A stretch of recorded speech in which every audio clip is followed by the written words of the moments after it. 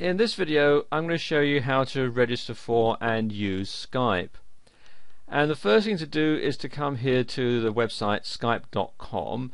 It'll detect where you are logging in from and redirect you to the local page uh, for your particular country so it's all in the same language and so on. And then click here where it says get Skype or just hold your mouse over it and you'll see the options that you have, the different platforms that you can install Skype on. You can have it on computer, on your mobile phone, or on your TV, and also the different operating systems that you can have. I have a Windows computer, I'm running Windows XP, so I'm going to click here on Windows. takes me through to this page here where I can download the Skype software it also gives me some information about Skype Premium, which has some extra features. I don't actually want that, I just want the basic Skype. So click here to download Skype. And it takes a few moments, and there we go. And I'm just going to save this file onto my computer's hard drive. And then when it's saved, I'm going to open it. There we go, that's done. So now I'm going to click here on Skype Setup. And I'll click OK for that. And just going to click on Run.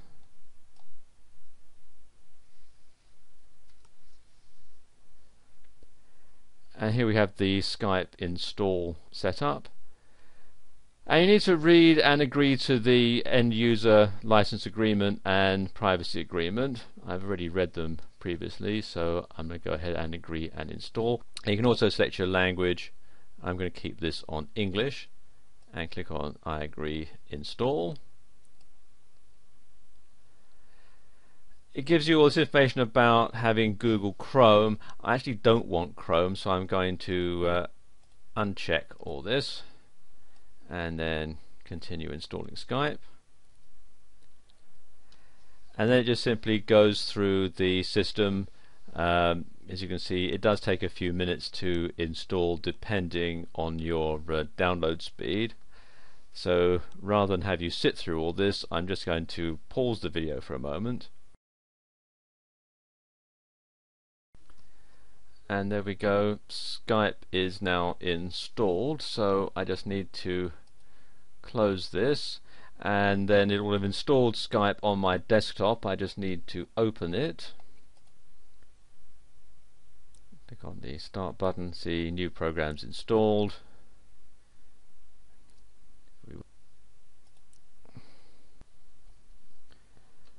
There we go and Skype is now signing in. And you can't see it because it's just off the um, picture here but it's also installed a Skype icon down here on my computer. Okay the next thing I need to do is to create a new Skype account which I can do on this pop-up window here.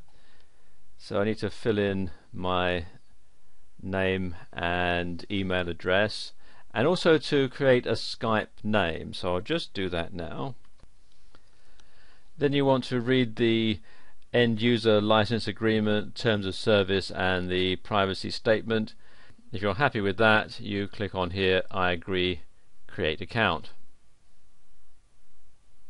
It'll check to make sure that the Skype name is available which uh, can take a few seconds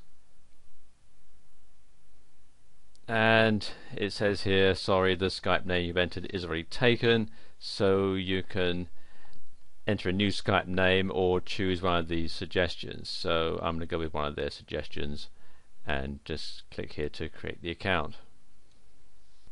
And that's it. My Skype account is set up. What I need to do now is to check that it's working properly. I do that by clicking on here the Echo Sound Test Service. So I'll just double click on that and then click on the call icon. Hello, welcome to Skype call testing service. After the beep, please record a message. Afterwards, your message will be played back to you. Okay, just testing to make sure my new Skype setup is working properly. 1, 2, 3, 4, 5, 6, 7, 8, 9, 10.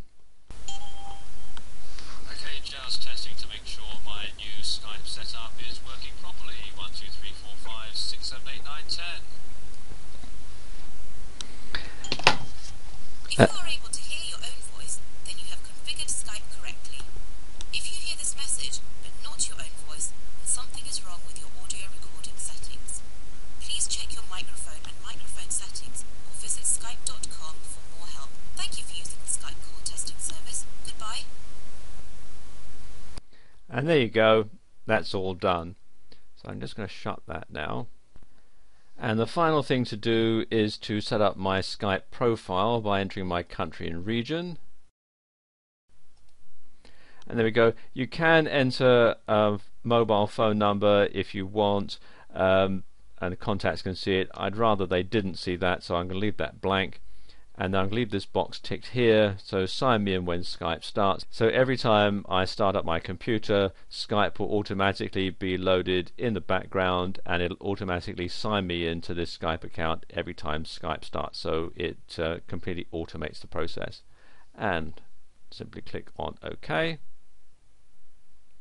And there we are. It's done and you can then go through some of the tutorials that they have showing you how to make calls how to find friends and import contacts and so on.